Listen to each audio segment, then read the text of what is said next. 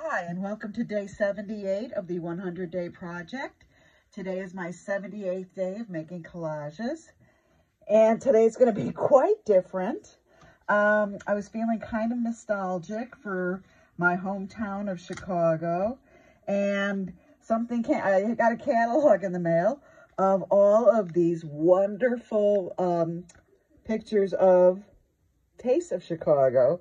So I cut them out and I thought how cool to make a collage of all favorite foods that I had from Chicago. So we're just going to get going here and going to tape this, uh, glue these down. And you'll notice that there's pizza, hot dogs, ribs, uh, beef sandwiches. These are all really fun foods that Chicago is known for. And we even have this heart-shaped deep dish pizza. I guess they were celebrating. And nothing's better than a Chicago. Chicago hot dog, right?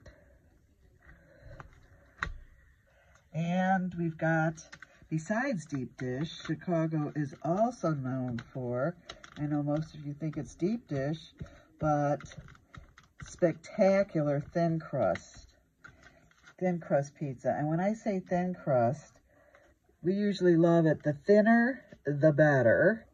And then they pile on the sauce and the cheese and the sausage. So as you could see, quite appetizing. I hope you guys aren't getting too hungry. Um, but I just thought this was going to be so much fun. Um, just had a thought this morning about thinking about Chicago, a little homesick. I get homesick occasionally. I haven't been back there in a while. But I just saw this and I was like, oh, this looks like home. This feels like home. So we're going to, and here's the famous beef sandwiches here. I don't know if you guys know how famous those are. And we've got Eli's Cheesecake out of Chicago, which is another name brand. So we'll put some cheesecake there. And we have some, let's see what I've got. Oh, I've got this really good hot dog here. So they had some wonderful pictures. I hope you guys aren't getting too hungry. Um, hope some of you had was had a chance to experience a Chicago dog. They're just so different than anywhere else.